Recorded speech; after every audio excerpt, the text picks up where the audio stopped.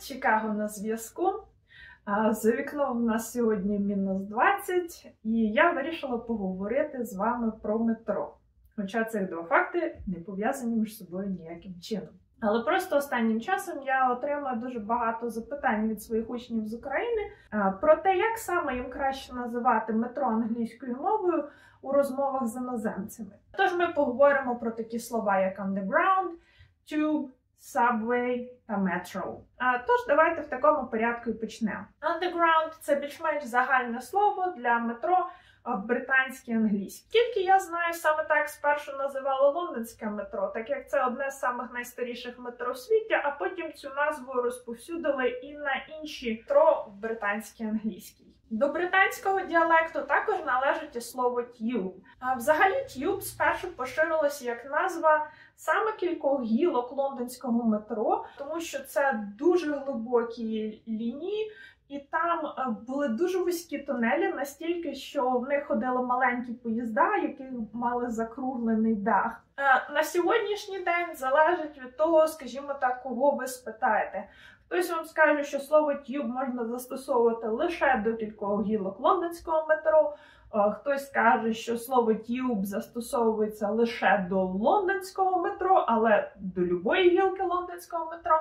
А хтось застосовує тюб як нікнейм для будь-якого метро. І переходячи до американського діалекту, то тут найпопулярнішим словом для метро буде слово subway. Частково воно найпопулярніше, тому що так називають метро в Нью-Йорк. А Нью-Йорк, звичайно, велике місто, яке зображується в багатьох фільмах. Е, до речі, в британській англійській слово subway означає підземний перехід, е, що іноді може викликати певну плутаницю між діалектами, але, скажімо так, більшість британців чудово знають.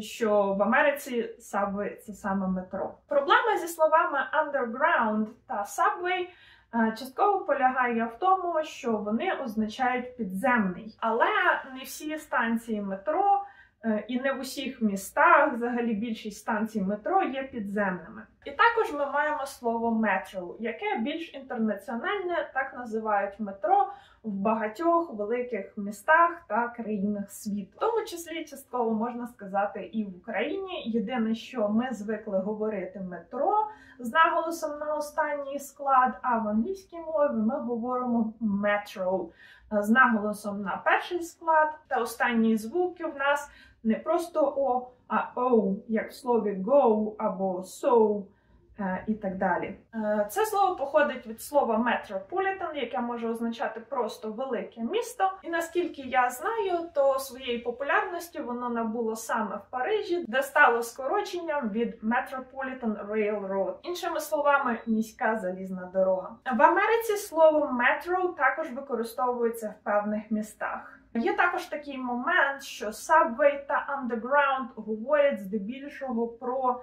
підземне метро. Але не в усіх містах е, метро є переважно підземним. Е, наприклад, в Чикаго значно менше половини станцій є підземними. Яке ж слово для позначення метро варто обрати вам? Частково це залежатиме від вашої ситуації. Якщо ви їдете в Великобританію Е, то я б радила вчити Underground. Якщо ви їдете в Нью-Йорк, вчіть Subway. Якщо ви говорите з кимось, живучи в Києві, і розповідаєте про київське метро, ви можете просто використовувати слово метро. Так, хтось може вас не зрозуміти. І тут я б сказала, що найпотрібніший, скажімо так, скіл англійської мови це не знати всі слова, а вміти пояснити значення слова, навіть якщо ви не знаєте достовірного перекладу самого слова. Тому, якщо ви говорите про київське метро як метро, і хтось вас не розуміє, ви можете просто сказати, що це city trains, тобто міські поїзди. Знову ж таки, якщо ж ви їдете в якесь інше місто, то вам доведеться дізнатися, як називають метро саме там, тому що може виникати багато нюансів. Наприклад, в Чикаго компанія, яка обслуговує приміські електрички, називає називається метра. Тому, якщо ви приїдете в Чикаго і спитаєте, як вам пройти на станцію метро, то вас, скоріш на все, відправлять на станцію приміських електричок.